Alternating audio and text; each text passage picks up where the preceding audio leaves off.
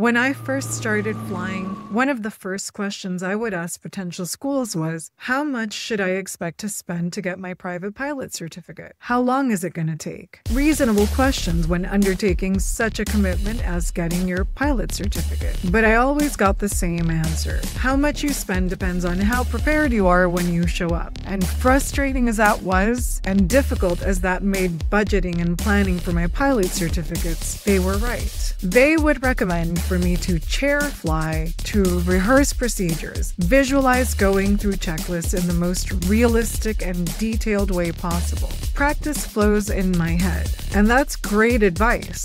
But how was I supposed to do that?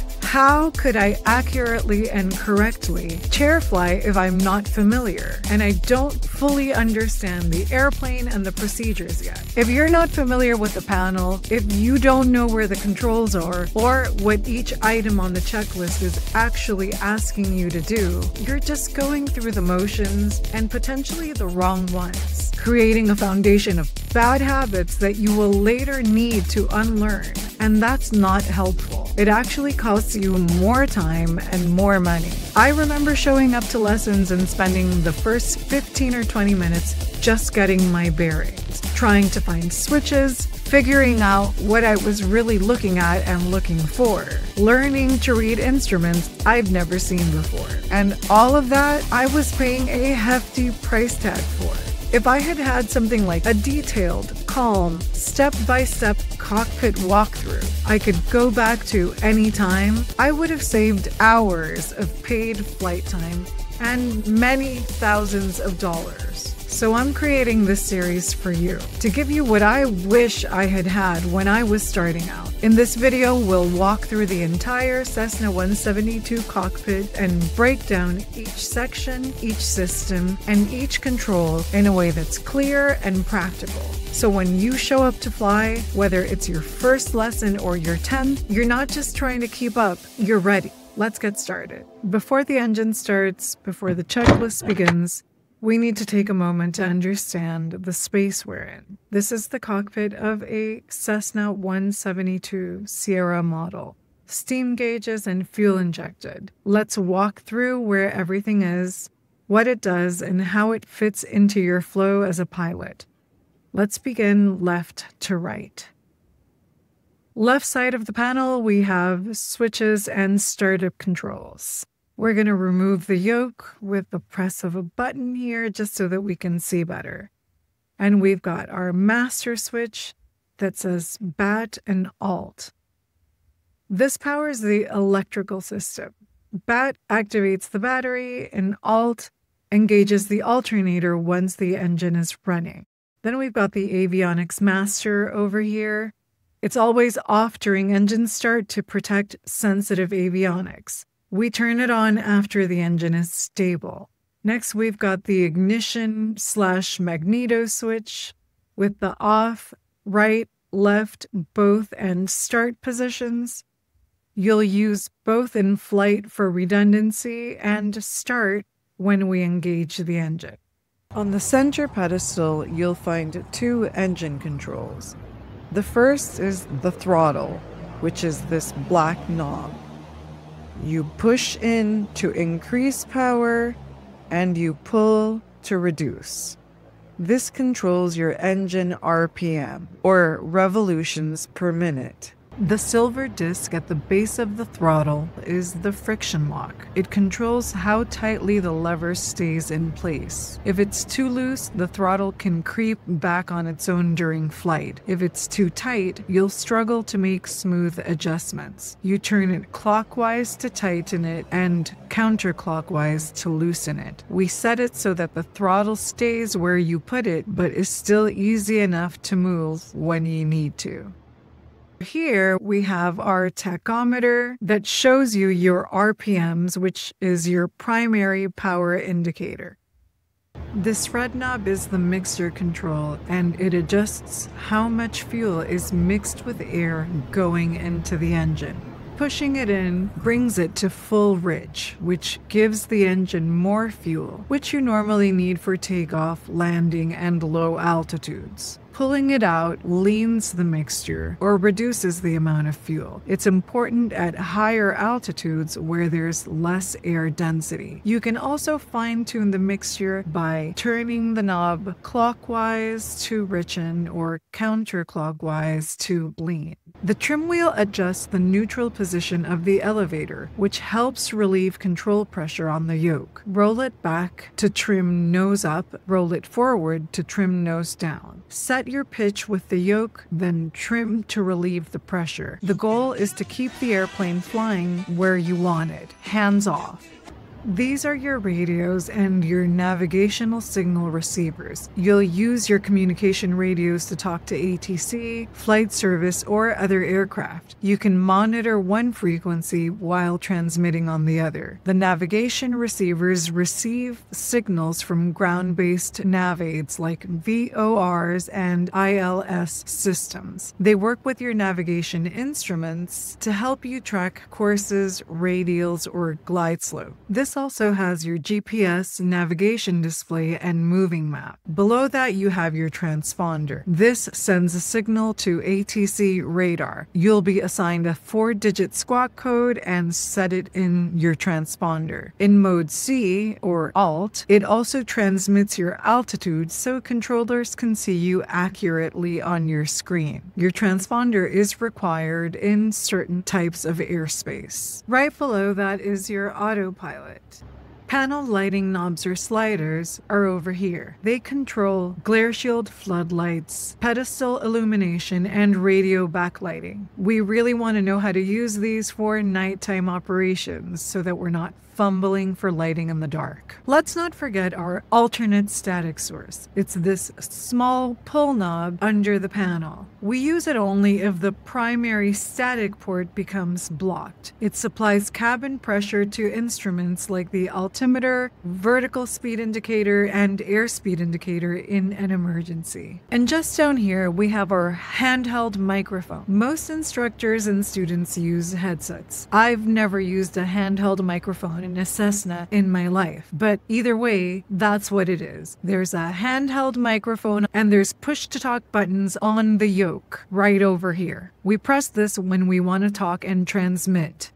And right down over here, we have a fuel shutoff valve. It's red and located near the fuel selector, and this is separate from the fuel selector that has the alternative for left, right, or both. This one is only used in emergency procedures, such as in engine fire. We never touch this during normal operations. Next, we have our digital clock, which is used for timing patterns, holds, and instrument procedures. And this one also has a voltmeter that displays the charging system health and battery voltage. Also, very important are our air vents. It's especially important in the summer in Florida or California. But they are found overhead and you can rotate them to open or close them and aim them as needed. Over here we have the lighting panel, controls for beacon,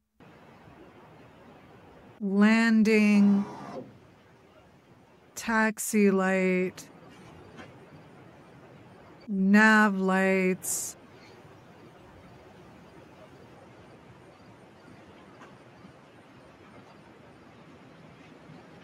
strobe lights, and pitot heat. We use the pitot heat for icing condition, and that heats up the pitot tube. Next, we have the six pack, which are the primary flight instruments. We have the airspeed indicator, which shows you the indicated airspeed, not your ground speed. And these colored arcs are actually a bit of a cheat sheet. This white arc shows you the flap operating range, so you should never lower your flaps when you're above this speed, and it's marked right here. Then you've got the green arc, which is your normal flight range, your yellow arc, which is the caution zone, and you should only fly in this zone in smooth air only. Then we've got the red line, which is your never exceed speed. Next, we've got the attitude indicator, which is your artificial horizon and it's critical in low visibility. You align the miniature airplane on your horizon. The background has blue for the sky and brown for the ground, and it moves to show your pitch and bank. You have these pitch tick marks every five degrees. You can see 5, 10, 15, 20, 25. You also have the bank arc with tick marks at 10, 20, 30, and 60 degrees. It's powered by the vacuum system, as you can see, and driven by a gyroscope. We use it to confirm that we're straight and level, climbing at a known pitch, or turning at a known bank angle. Next, we have the altimeter. It reads altitude above sea level and it uses atmospheric pressure. First, we set the local pressure here in the Kollsman window. We get that from our ATIS normally. The large hand shows you hundreds of feet, the short hand thousands, and the skinny one ten.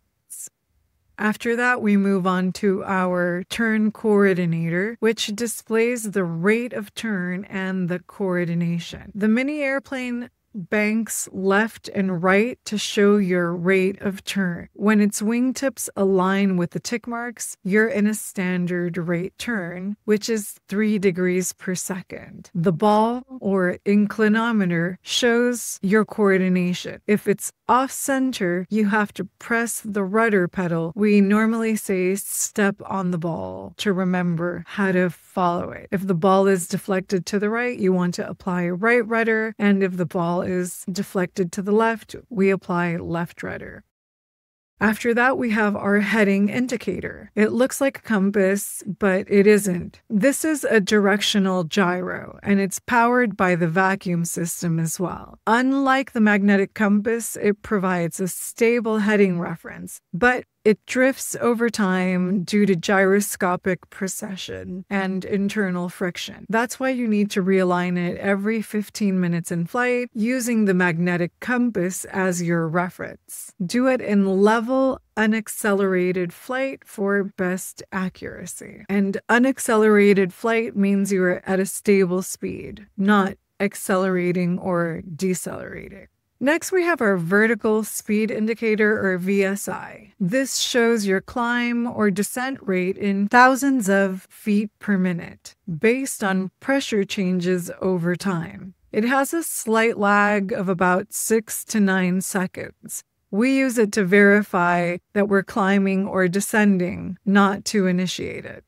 Next, over this way, you have your oil pressure and oil temperature gauges, and we watch these during engine start and climb. We look to see that we are in the green. At first, the temperature will be low and it will climb, but the oil pressure should be in the green arc pretty quickly after you start the engine. Next, we've got our fuel gauges to see how much fuel we have in each tank, left and right. Our EGT, which is our exhaust gas temperature and it helps you with your mixture management to make sure that you have the correct mixture. And also, you have the ammeter and voltmeter. It shows whether you are charging or discharging, and also your vacuum pressure. This lets you know that your vacuum powered instruments will be working correctly when your vacuum gauge is around five, but just within this green little arc. Now we move on to where you also have the cabin heat for when you're flying on cold days and don't want to freeze your butt off. Next, we have our control yoke and rudder pedals. The yoke moves the elevator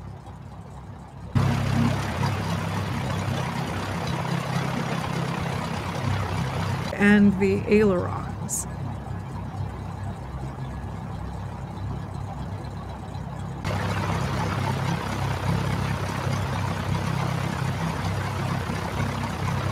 If you push it forward,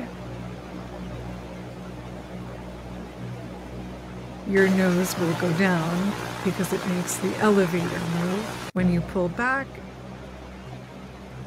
it pulls your nose up as a function of the elevator moving as well. Then if you turn it left or right,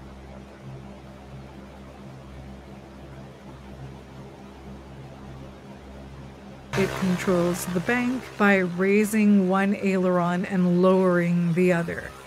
Just remember that if you turn the yoke to the right, you will bank right. The rudder pedals control yaw and they act as toe brakes on the ground when you press the top part of the pedal. They also steer the airplane on the ground. When you turn the airplane in flight, you use a combination of yaw and bank. You don't just bank, you want to make sure that your turn is coordinated. And in order for your turn to be coordinated, you have to use both your rudder pedal and your bank angle. Make sure that ball is centered in your turn coordinator. Now, over here in the center panel, you have your fuel selector valve on the floor, which has left, right, or both. During normal operations in this airplane, we normally keep it set to both, and that means it's getting fuel fed from both tanks.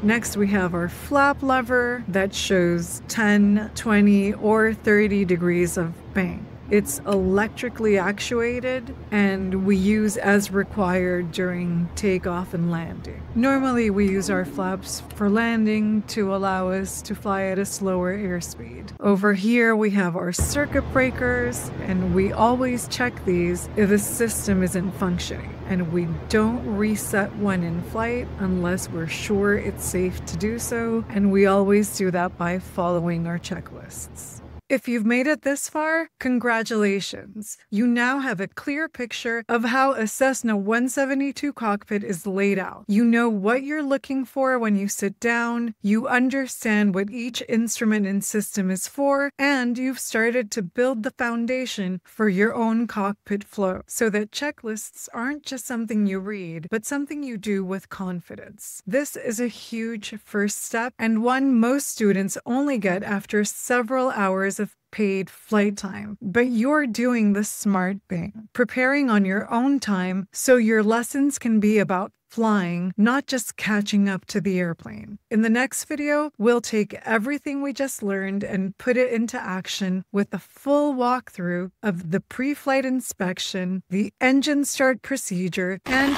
taxi to the active run checklist in hand, step by step with explanations at every stage. And after that, we'll perform a takeoff and fly a full lap around the traffic pattern, giving you the full experience from engine startup to landing. My goal is to help you show up feeling ready and to build confidence as a pilot. So be sure to subscribe if you haven't already and keep this video saved as a reference. You'll get more out of it each time you come back. Thanks for watching and see you in the next video.